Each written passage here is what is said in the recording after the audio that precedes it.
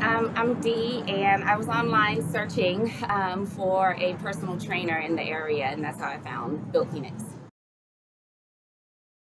So, definitely put on some pounds as a result of staying home for two years with COVID. Um, so, I first wanted to start to get mobile again, um, and I've definitely done that, and then just tone up and build some muscle my clothes fit better. Um, I look nicer in the mirror. um, I've definitely toned up in some key areas like my stomach and my arms, um, which were problem areas, even my legs. Um, so I am actually also feeling a lot stronger. So. So experience been great, um, professional, um, always on time. Workouts are amazing um, you know, just a really, really great experience that I have with Lisa. She knows what she's doing.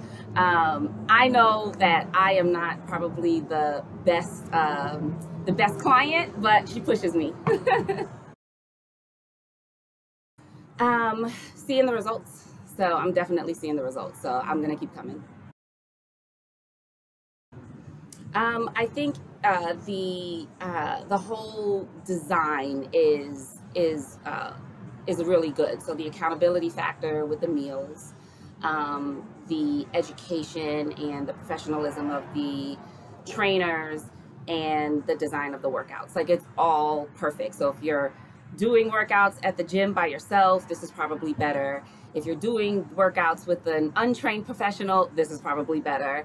Um, and if you're trying to do like a nutrition plan on your own with no accountability, this is better.